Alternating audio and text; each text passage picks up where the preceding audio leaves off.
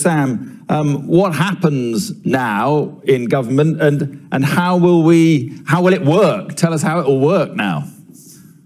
So for the moment, things will continue as they have been, simply with the Prime Minister dialing into his own meetings that he chairs. That's what he did for the 9.30 uh, COVID-19 war, group, uh, war uh, room this morning. But this is an unusual situation, and reflecting that, Downing Street had, in the last couple of weeks, announced that if anything were to happen to the Prime Minister, for instance, he became incapacitated by COVID-19, Dominic Raab, First Secretary of State, and the Foreign Secretary would take take over the levers of power at that point. Now, how does that happen? I've been speaking to Catherine Haddon from the Institute for Government. Let's hear how she explains the transfer of power.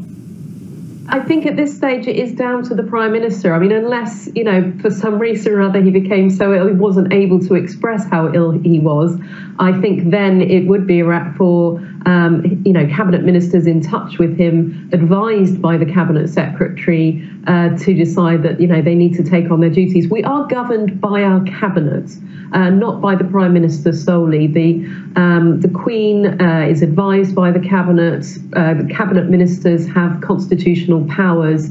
Uh, it is the collective cabinet who decide policy.